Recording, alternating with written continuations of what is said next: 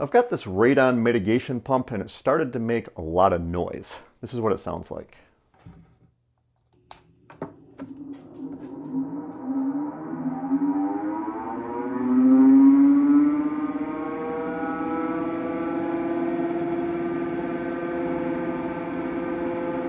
Now I looked around online, I didn't see many people talking about how to replace the bearings in one of these, and so today I'm going to show you how to do that.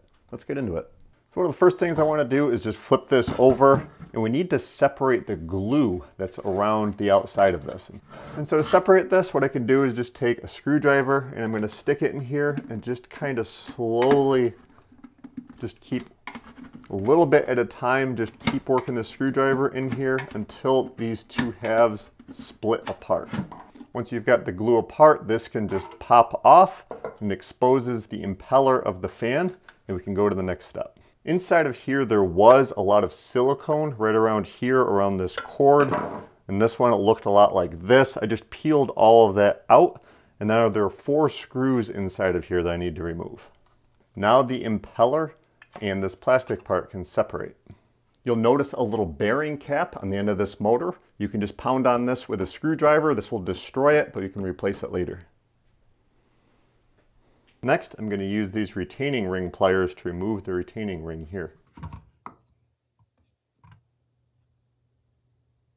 Next, this entire motor can just come right out of the retainer. You'll notice a washer, there are some bearings in here and bearings here. We're going to pull these out. To get out this bearing, I'm just going to take a small screwdriver. I'm just going to poke it through here to hit the bearing and give it a slight tap. And for this side, I'm just going to use a small punch, put it through the middle. And I'm going to give it a small tap.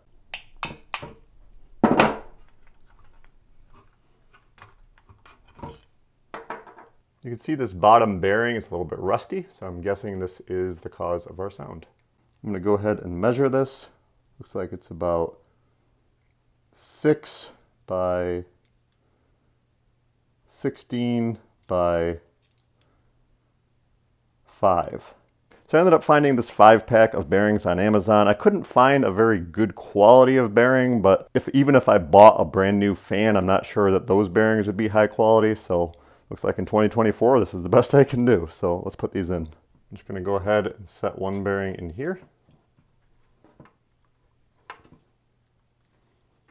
Hmm. And then another bearing in here. I can't quite press in this top bearing by hand, and so I found this little 11 millimeter socket. It is just about exactly the right diameter. What I'm going to do is just sandwich this in this woodworking vise and just press that in.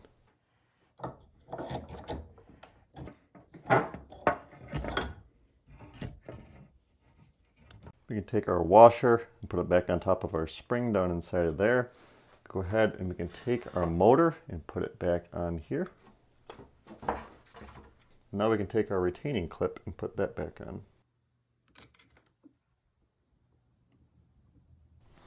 And just take a screwdriver and make sure that it's on there and seated really well. And you can test to make sure that the motor does not pull back out of the impeller.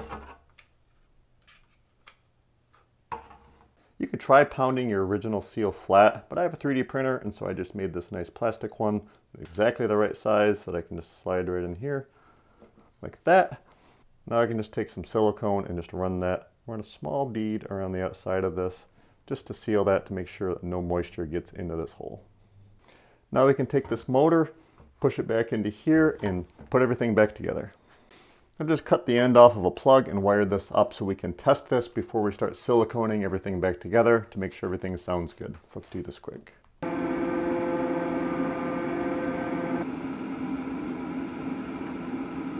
Down inside of here, we want to get some silicone and also in here where we loosened up this wire to make access for the motor.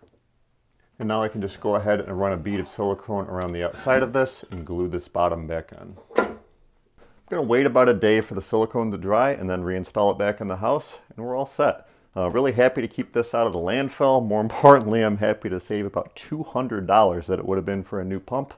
I'll put a link in the description for these pliers as long as the bearings. Uh, I'm not sure if the bearings will work in your model of pump, This pump just happens to be a Fantech FR100.